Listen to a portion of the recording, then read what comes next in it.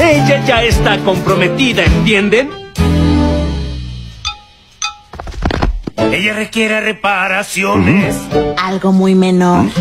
Su compromiso no es arreglo fijo. Y además no hay anillo ahí.